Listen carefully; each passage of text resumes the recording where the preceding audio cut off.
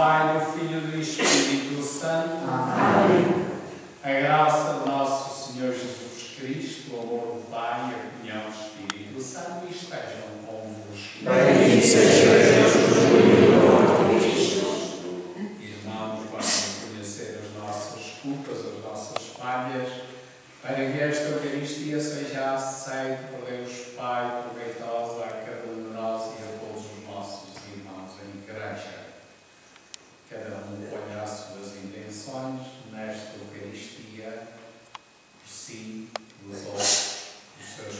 os seus fundos, todos aqueles que